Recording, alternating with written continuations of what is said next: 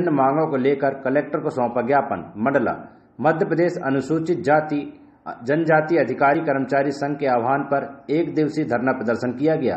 प्रांतीय अध्यक्ष जे एन कंसोटिया तथा प्रांतीय महासचिव एस एल सूर्यवंशी के निर्देश पर कलेक्टर मार्ग में धरना प्रदर्शन किया गया। इसके बाद राज्यपाल एवं मुख्यमंत्री के नाम से कलेक्टर को ज्ञापन सौंपा गया। ज्ञापन में मांग की गई है कि पदोन्नति में आरक्षण लागू हो और एससी एसटी के कर्मचारियों और अधिकारियों को शीघ्र पदोन्नत किया जाए। बैकलॉग के रिक्त पदों पर अविलंब भर्ती कर अनुसूचित जाति, अनुसूचित जनजाति के शिक्षित बेरोजगारों को नौकरी के अवसर प्रदान किया जाए।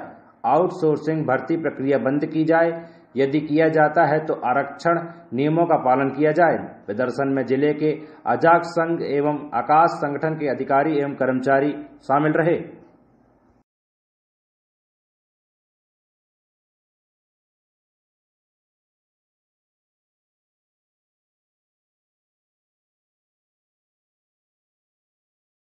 ये मध्य प्रदेश का प्रांतीय अधिवेशन है, जिसकी अध्यक्षता अमान सिंह पूर्ति जी कर रहे हैं, जो हमारे प्रदेश अध्यक्ष और मुख्य अतिथि राष्ट्रीय अध्यक्ष माननीय तुलेश्वर सिंह मरकाम जी।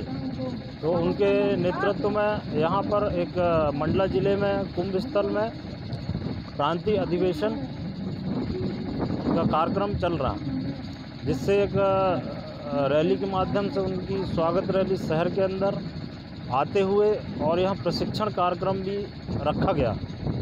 और पार्टी को 2023 में किस तरीके से चुनाव में लाना और सफल होना, इस कार्यक्रम के माध्यम से कार्यकर्ताओं तक उसका संदेश पहुंचाना एक मुख्य उद्देश्य है पार्टी।